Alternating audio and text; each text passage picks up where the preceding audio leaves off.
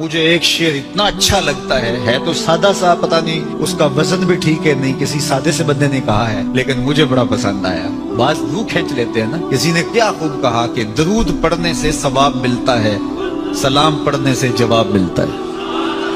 कितना सादा और कितना खूबसूरत। दरूद पढ़ने से सवाब मिलता है, सलाम पढ़ने से जवाब मिलता है। और अगर हुजूर की तरफ़ से वालेकुम के लफ्ज आ गए तो और क्या चाहिए? इसलिए कसरत से हुजूर को सलाम कर